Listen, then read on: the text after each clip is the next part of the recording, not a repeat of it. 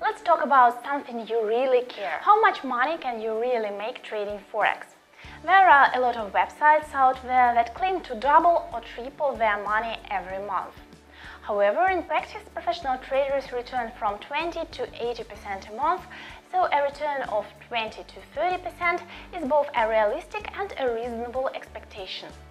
Remember that currency trading is like any investment vehicle and having realistic expectations for what you can make is going to set you up to succeed more than thinking that you can get rich quick after the $50 investment.